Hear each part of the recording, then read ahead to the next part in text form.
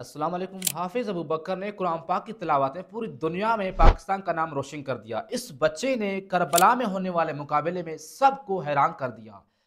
और दूसरे, तीसरे नंबर पर आने वाले बच्चे हीरान और हिराक के बच्चे थे, लेकिन ये बच्चा पहले नंबर पर था। इस बच्चे को भी प्रमोट कीजिए।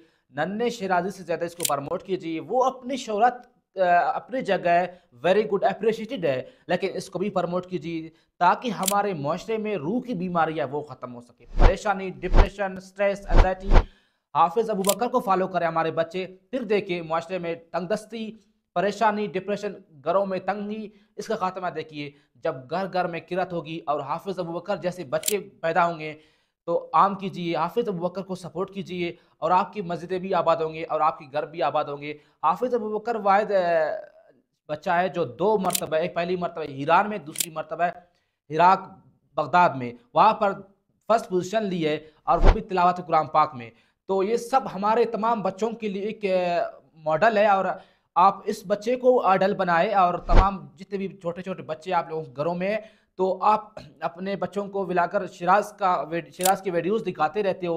हाफिज़ अबू बकर की कीरत को दिखाए और उसको सुने ताकि आपके बच्चे हाफिज़ को फॉलो करें और कुरान बने और आपके घरों में डिप्रेशन एंजाइटी आजकल आम है तो वो खत्म हो अदरवाइज़ हर किसी की अपनी है लेकिन जैसे कुरान पाक में तिलावत में पोजीशन ली है तो सब के लिए, हमारे तमाम बच्चों के लिए एक आइडियल है और इस बच्चे को लाजमी प्रमोट कीजिए। वैसे टिकटॉकरों को लोग फॉलो करते हैं, प्रमोट करते हैं और उन पर वीडियोस बनाते हैं। बदकिस्मती से हमारे माशरे में हाफिज़ जैसे बच्चों को सपोर्ट नहीं करते, जो व्लागिंग करते हैं, उनको बहुत हाई लेवल पर मत सपोर्ट करते तो अपने बच्चों को हाफिज़ अबू बकर जैसे बना ले, किरात में आला पोजीशन दिलाने के लिए उनको मस्जिदों में दाखिल कराए, ताकि वो पूरी दुनिया में रोल मॉडल बन जाए। और हाफिज़ अबू बकर का ताल्लुक मानसरे से आठवीं क्लास का बच्चा है और पूरी दुनिया में और इसकी जो किरत की आवाज़ है और अल्लाह ताला ने उसको इतनी इज़्ज़त और रुतबा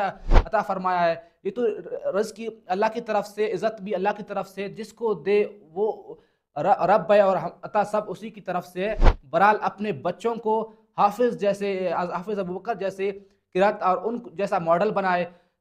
उनको सब मतलब हाफिज़ अबू बकर को फॉलो करें, ताकि आपके बच्चे भी हाफिज़ अबू बकर जैसे बने। थैंक्स फॉर वॉचिंग जजाकल्ला खैर।